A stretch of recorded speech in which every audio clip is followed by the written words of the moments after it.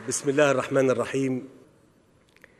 إن من لا يملك جيشا وطنيا وسلاحا عصريا لا يملك امنا.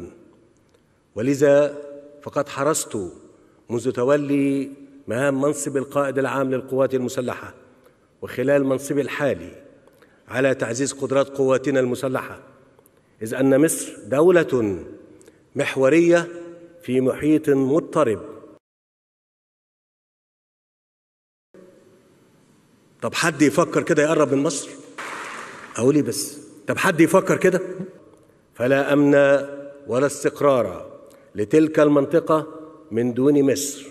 كتير منكم كان بيسأل ليه الجيش في مصر بيجيب معدات؟ أو أنت جبت معدات كتير ليه؟ معدات متقدمة ليه؟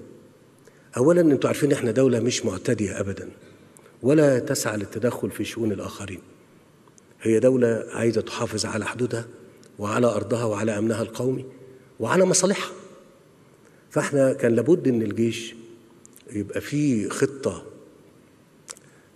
يعني للحصول على معدات تمكنه في ظل التطور الكبير اللي حصل خلال العشرين سنة الأخرين على الأقل في مجال نظم التسليح المختلفة.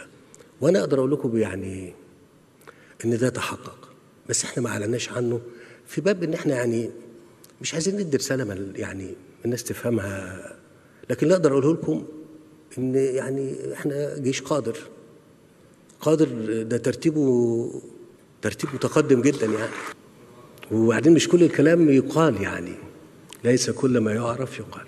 طب حد يفكر كده يقرب من مصر؟ وقدرة الجيش اللي موجود في مصر ده والله لا يستطيع أحد. أقول إيه بس؟ طب حد يفكر كده؟ طب حد يفكر كده يقرب من مصر؟